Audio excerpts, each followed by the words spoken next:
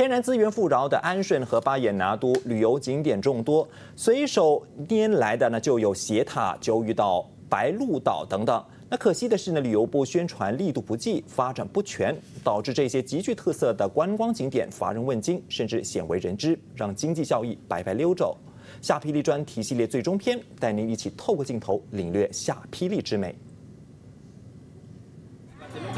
贵为新兴旅游景点的白鹭岛，白天能够观赏白鹭倾巢而出，日落时分看倦鸟归巢。入夜后乘上小船游河，近距离观察萤火虫，在漫天星光中结束一天充实的行程。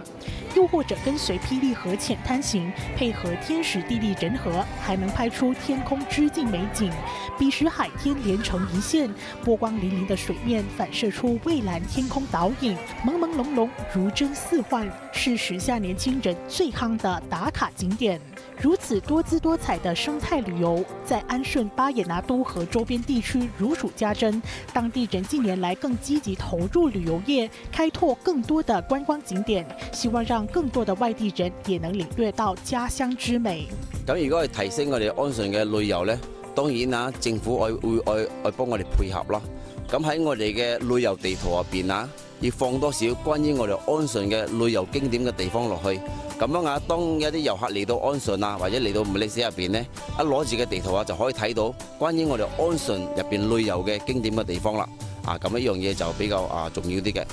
自然、生态、人文和美食原本就是一脉相连，若相辅相成的好，更能加大一个景点对游客的吸引力。例如充满渔家风情的渔村导览，但这还不足够，要保住热潮，留下游客，唯有坚持后续发展，才是让游客流连忘返的王道。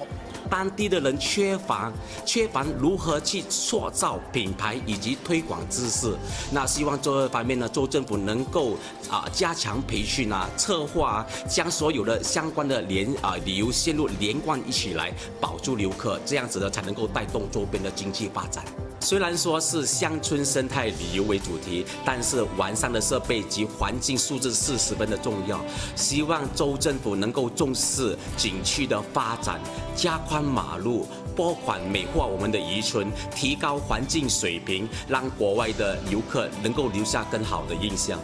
旅游业者徐永强表示，来下霹雳旅游的有四成是新加坡游客，其余则是本地中国香港和台湾游客。每逢假期或旅游高峰期，每天更可接待多达六百名游客。而随着西海岸大道竣工在即，当地人更放眼能够带动周边旅游业展翅高飞，让夏霹雳不只是大自然馈赠的瑰宝，也是远方人的梦中故乡。